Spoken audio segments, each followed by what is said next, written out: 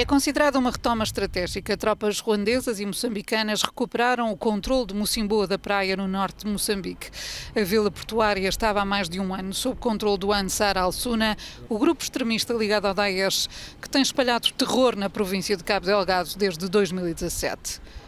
O anúncio da reconquista foi inicialmente feito pelo exército ruandês e, entretanto, confirmado pelo Ministério Moçambicano da Defesa.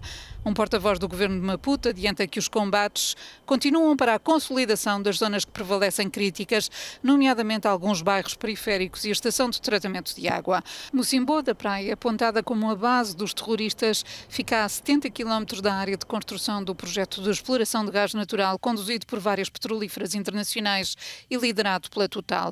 As Forças Armadas de Moçambique contam desde o início do mês com o apoio de mil militares e polícias do Ruanda. Esta segunda-feira foi lançada oficialmente a missão da Força de Estado de Alerta da Comunidade de Desenvolvimento da África Austral. Este contingente deverá integrar mais 3 mil militares dos países da SADC.